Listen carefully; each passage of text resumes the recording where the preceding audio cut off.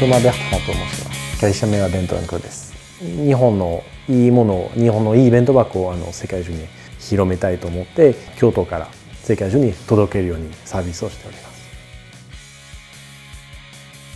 一番最初あのチャレンジはあのやっぱり物流です。荷物は早く届届いてほしいというあの声が多かったので GHL エクスプレスと契約を結んで、えー、エクスプレスの発送も始まったんですね、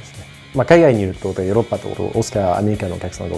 多いですけどもだから日本でやっぱり遠いと感じますね。でその注文してからあの GHL で発送すると大体あの2日3日ぐらいであの届ける。非常にみんなびっくりしてます。国内より早い届いたってあの声が多いです。私たちの商品あの弁当箱プラスチックは木でも、まあ、結構割れやすいものですけども、GHL エクスプレス発送すると商品が割れたとかそういったのはほとんどないです。何か問題ある場合は、まあ、すぐにレスポンスが早いです。5年後とか10年後でも考えると今でもその B2B でも B2C でもお客さんを増やしたいので会社を大きくしたいし日本のお弁当の文化も広めたいです。でも JHL エクスプレス使うと本当に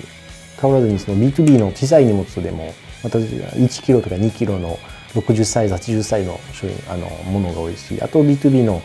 まあ、1ケースのね20キロ30キロから JHL エクスプレスのおかげであのどんなあのオーダーでも早く届いているのですごくありがたいです。お客様を大切にする私たちだから GHL を選びました。